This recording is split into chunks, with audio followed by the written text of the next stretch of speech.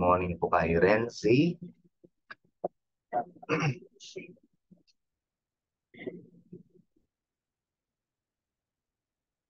Ito yung ating pagbulay-bulayan. Matthew 22, 2 to 8.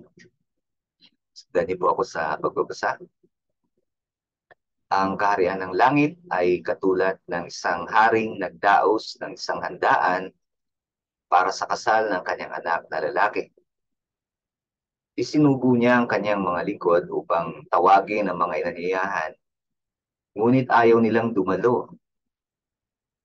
Muli siyang nagsugo ng ibang mga lingkod at kanyang pinagpilinan ng ganito.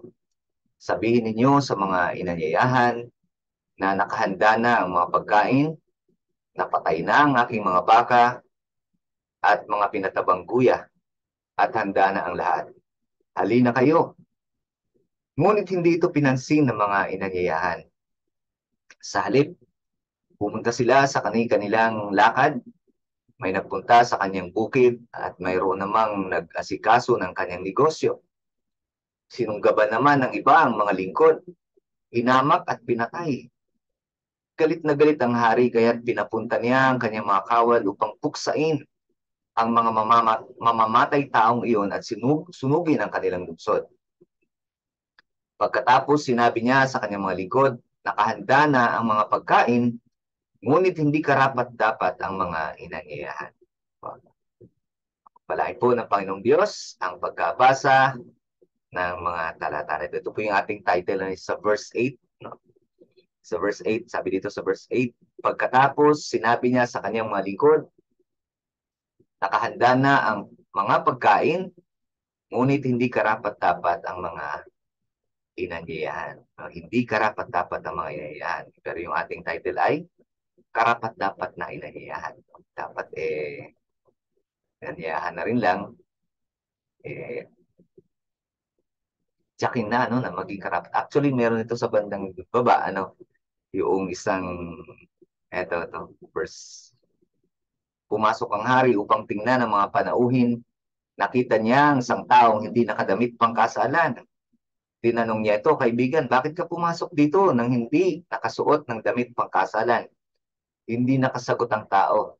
Sinabi ng hari sa mga lingkod, talian ninyo ang kanyang kamay at paa at itapon siya sa kadiliman sa labas. Do'y mananangis siya at magngangalit ng kanyang mga ngipin.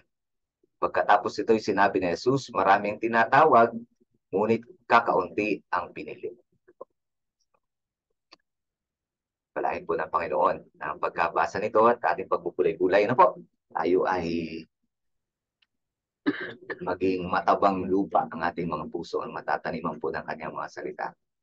Everybody says, Amen. Amen. Po. So,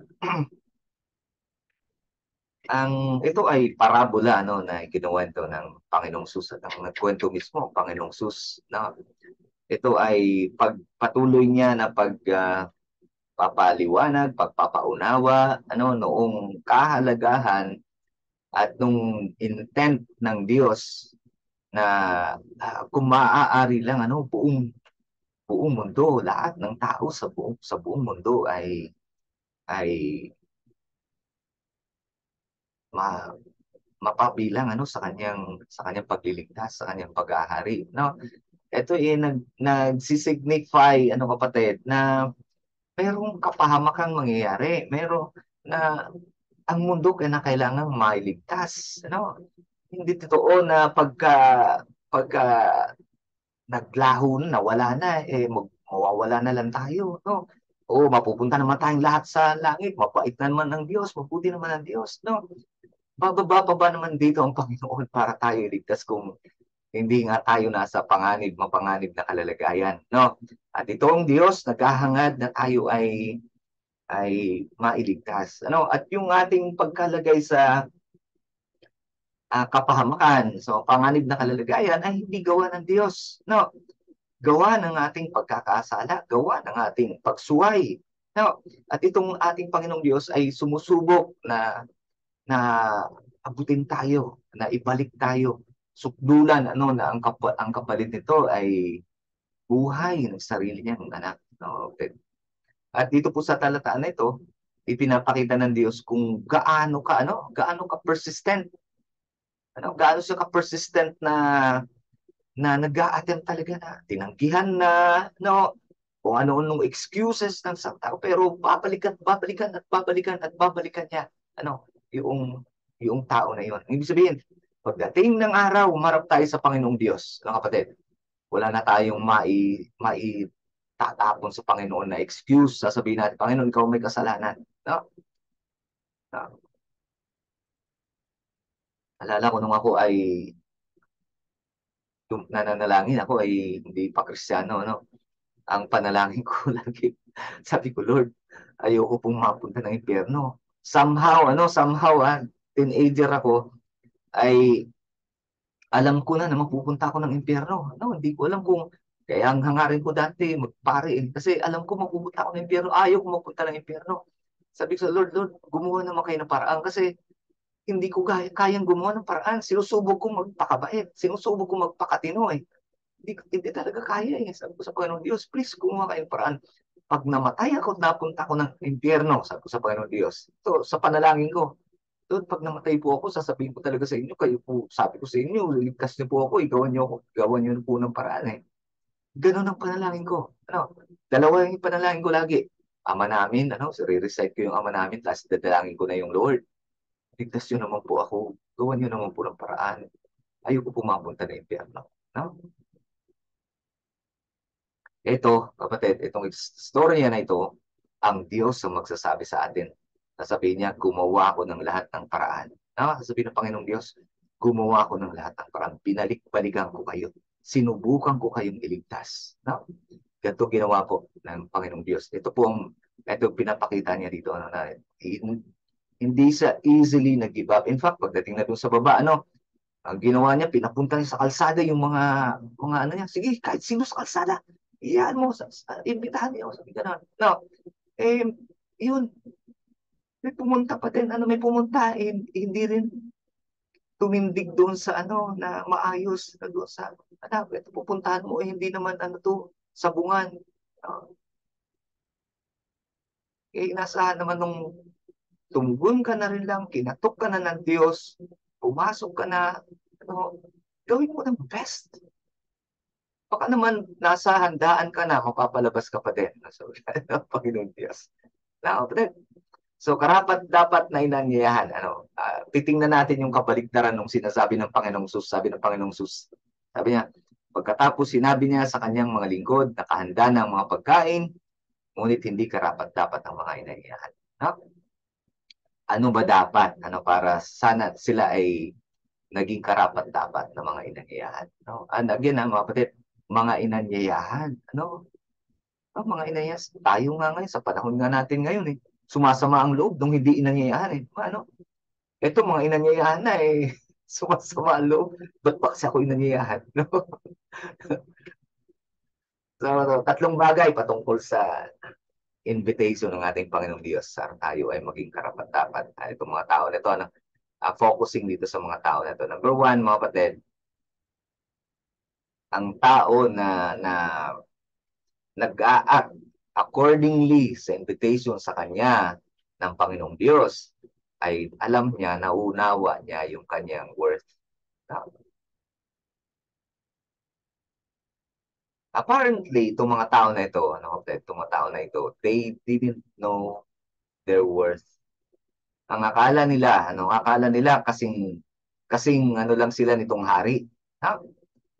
Ang kaharian ng langit ay katulad ng isang hari, ano, nagdaos ng isang handaan.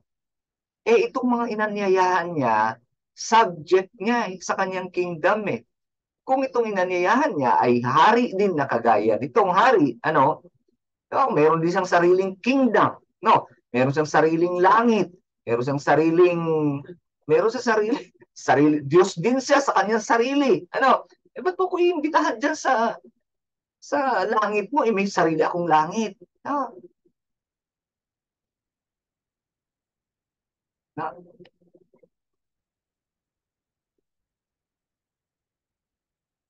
to respond accordingly ano doon sa paanyaya ng ating Panginoong Diyos. No? Para sabi, alam niyo, ito, it, yun actually minsan naririnig natin, ano, buhay ko to, mo kong pakikialaman, mga, mga ganong salita. Na parang buhay mo ko to. Ano, na ibig sabihin nun, itong tao na ito, hindi niya naiintindihan, yung taong nagsasalita ng ganun, hindi naiintindihan, sino siya? Ano, sino may-ari ng kanyang buhay?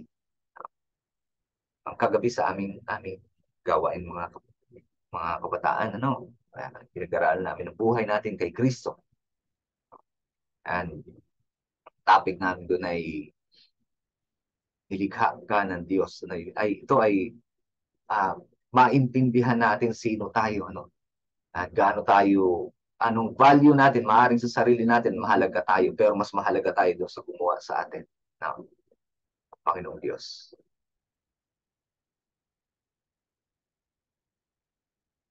Eh? Anong worth yun dapat na maintindihan itong mga tao na ito? Ano? Anong worth itong dapat na, apparently, you know, sa, sa paningin nila, sa pangunawan itong mga tao na ito, they are worthy, ano, sa kanilang sariling ano standard, sa kanilang sariling measure. No? Sabi doon, merong merong yung yung ilan ay ngunit hindi ito pinansin ng mga inanyahan. Sa, sa halip, pumunta sila sa kanilang lakad. No? May sarili silang lakad. May nagpunta sa kanyang bukid. Mayroon namang nag-asikaso ng kanyang negosyo. No? May sarili silang worth according sa kanilang paningin, according sa sarili nilang uh, measure at understanding. Ano? Ay, meron kami sariling worth. Kasi kung naintindihan nila, ano na sila ay subject, no? na yung nag-iimbita sa kanila ay hari. Ano na sila ay, uy, ano tayo? No, nasasakupan tayo ng hari na ito. Anytime po pwede tayong papatay nitong hari na ito itong tinitirahan natin ay lupa niya. Now, pwede niyang kuhanin itong, itong pag-aari natin at magiging, magiging, in fact, alipin tayo, slave tayo, property tayo nitong king na ito. No? Hindi nga tayo being eh. Property tayo sa king na ito. Ganun lalabas eh. Eh kung nakita lang kahit gaano pa nila ayaw itong king na ito. No? Kahit gaano pa nila ka, ayaw, kahit gaano pa sila ka, ay, ay, magdalaw, mag, mag-isip tayo, susugurin tayo dito noon, lilipulin tayo ng hari na yun, hari yun, hari natin yun. Pwede pa kung, kung ibang kaharian sila, no? Uh, subject sila ng ibang king, eh, huwag, huwag, huwag tayo sumunod din, naman natin hari yan.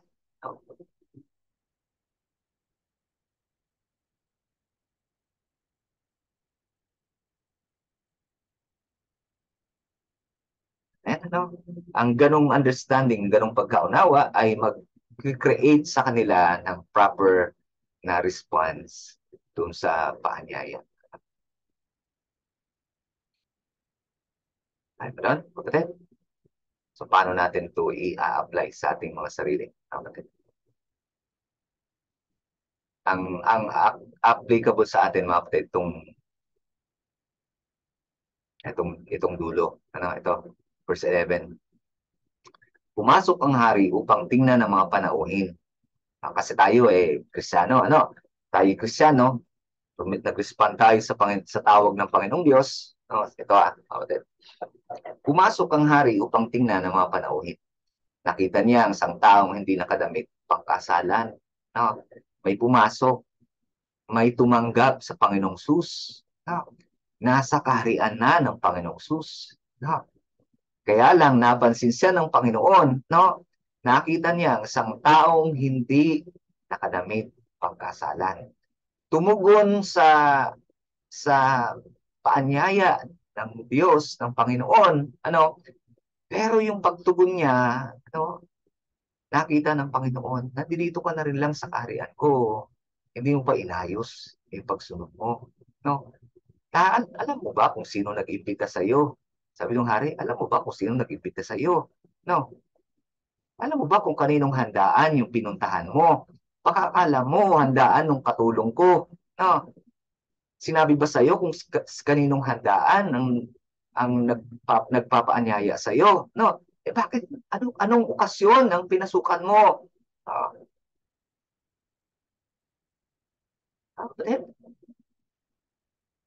Eh, minsan tayong mga Kristiyano, no? Kristiyano na tayo kapatid, eh, no? Ano ba doon? Kristiyano. Ah, kahit Kristiyano, tumugon sa paanyaya ng Panginoong Diyos, ini-expect ng Panginoon. No? Kung paano nagre-respond.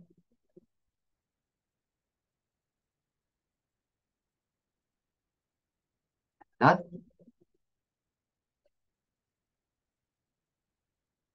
The second thing, ano about sa karapat-dapat na pinanyayahan. Una, no, para dito sa mga karapat-dapat na inanyayahan, they know their worth. Pangalawa, they know the invitation's worth. They know the invitation's worth. Who is inviting? Ano? Una, focus sa kanilang sarili. Uy, grabe karangalan nga sa atin. No? Tayo hindi karapat dapat inanyahan tayo ng king. No? Para anyayahan, ano ito? Para anyayahan sila nung king. Ano? Na knowing nung kanilang worth. Ano na kung ikukumpara ay hindi sila karapat dapat. Ngayon eh. Para imbitahan sila, ibig sabihin, oh, yung king considers us his friend. No? Pangalawa, ano kapatid?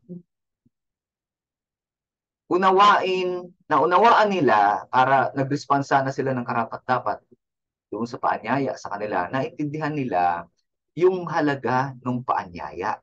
No? Idiniin nga nung, nung hari yung paanyaya. Sabi niya, ano, no, na, ano na eh, isinubo niya ang kanyang mga lingkod upang tawagin ng mga inyahan, ngunit ayaw nilang dumado. Muli siya nagsugo ng ibang mga lingkod at kanyang pinagbilinan ng ganito.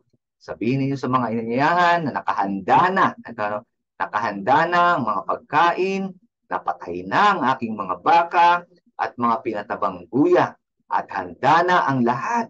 Halina kayo.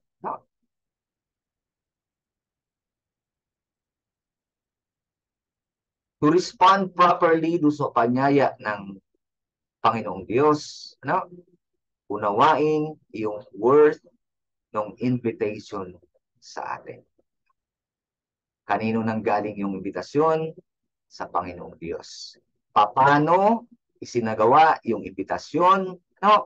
Yung ginawa ng Panginoong Diyos para lamang maimbitahan tayo? No? Hindi tayo karapat. Dapat kinakailangan niya mag-extend ng sabi ng mga anghel na Panginoon, bakit mo gagawin yan? No? Ang, ang, ang, ang dapat po para sa kanila ay yung, yung bunga ng kanilang pagkakasala, yung po dapat ang ipaparanas sa kanila. No? Bakit po mag extend kayo ng grace? No, yung grace ay yung yung mercy, ano kapatid, yung mercy hindi na ipaparanas sa iyo yung karapat dapat sa iyo. Ano? Hindi ipaparanas sa iyo yung karapat dapat sa iyo, mercy. Ano? Yung grace ipaparanas sa iyo yung hindi na karapat dapat sa iyo. No. Hindi na nga ipinaranas sa iyo yung karapat-dapat sa iyo na kaparusahan, ipaparanas pa sa iyo, ibibigay pa sa iyo yung hindi dapat ibigay sa iyo, yung pagpapatawad. No? Yung tawag ng grace.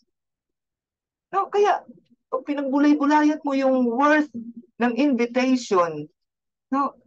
yung worth ng invitation, hey, iniimbitahan tayo ng Panginoong Diyos. I-surrender natin ang ating ating buhay sa Kanya, isuko natin. At yamang pumasok na rin tayo sa kaharian ng Panginoong Diyos, ano? Yung pagsunod na nakikita dapat sa atin ay exemplary kasi nakikita natin kung paano tayo nakapasok sa kaharian ng Panginoong Diyos. Paano tayo pinapasok ng Panginoon. Ano? Paano niya na isagawa? He had to stoop down. No? Kailangan niyang i-extend yung grace, yung mercy niya. No, pag tiningnan natin ang Panginoong Sus, yung sinasabing nakahanda na na ano, napatay na yung buya, ano, eh, ang Panginoong Sus itong pinatay eh. No? Napatay na ang aking anak. Pumasok na kayo. Nakahanda na yung, yung handa. No? Napatay na ang aking anak. Napako na sa krus ang aking anak.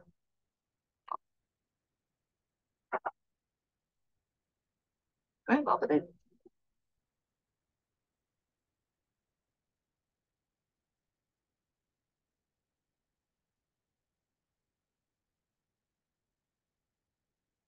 Amen. And then, panghuli, mga kapatid, karapat-dapat na inanyayahan.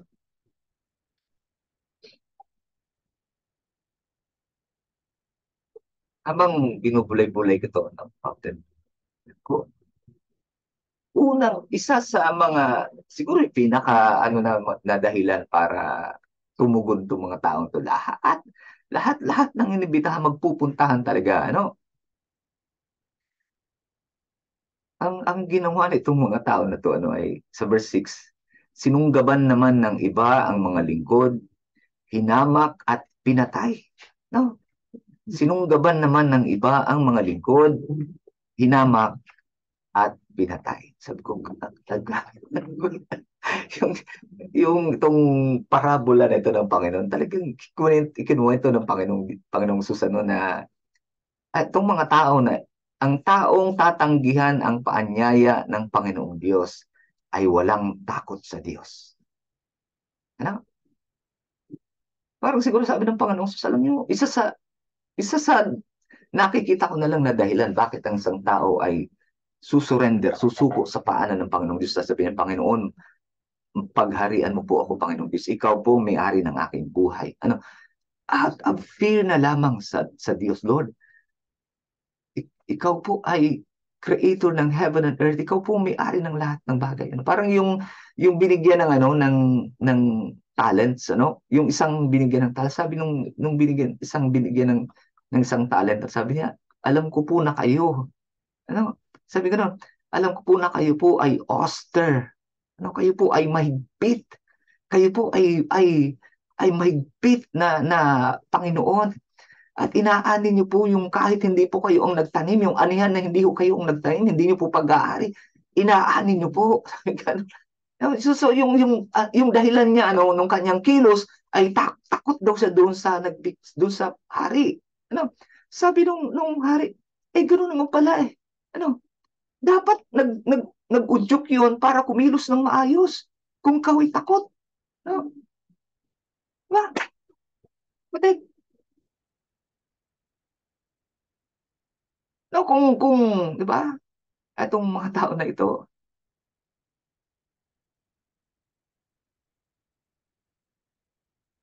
Amen, kapatid. Tayo, nandito tayo mga kapatid. Now, eto siguro ang atin dahil ang atin ay yung fear ay reverence, respeto. Itong mama na ito sa verse 11, ano, nakita niya, nag-imbita, oo nga eh, ano, eh, galing naman, salamat naman. Ano, talaga ba po kami ano inimbitahan? No. Eh ano ano po eh kasi yung mga inimbitahan po ng nung hari ay ano eh eh mga ayaw po eh. Eh wala akong tao doon sa handaan ng hari. Pinaimbitahan na po kayo, sabi ng ganoon. Oh. Eh sige po, naku po, para sa amin ay ano, sandali lang po ha, pakisabi po, ano, pupunta po kami. Maghahanda lang po, ano, pagdating doon sa ano, talagang bakit kasi ano, no? Ay, ay hindi ko kami karapat-dapat. Hindi po kami dapat na imbitahan ano. Ang puporma sa ng pinaka po. Pagpasok niya, uy, oh, kapit ba, kapit natin to ha. Oh, buti naman, talaga naman nagpapogi ka ng gusto. Ikaw naman po. Salamat naman po, inimbitahan niyo po kami. Gaganon yun eh, ano? Kasi alam niya, no? Ano yung worth ng paanyaya, no? Eh, itong sangto na nakita pa, ano, mga kapatid, I pray, meron pong ano, merong tayong naintindihan. No? Yaman din lang, uh, nandito na tayo sa kaharian ng Panginoong Diyos. I make sure po natin ano, na napaparangalan na luwa natin ang Panginoon. Po tayo po ay mag-pray.